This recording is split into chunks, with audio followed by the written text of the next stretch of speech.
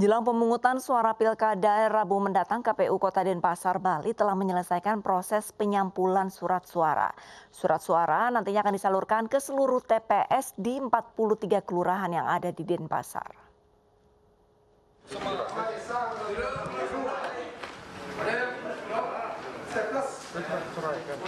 Puluhan petugas PPK dan PPS Denpasar Bali menyortir dan menyampul surat suara yang akan digunakan dalam pemungutan suara pilkada 9 Desember mendatang.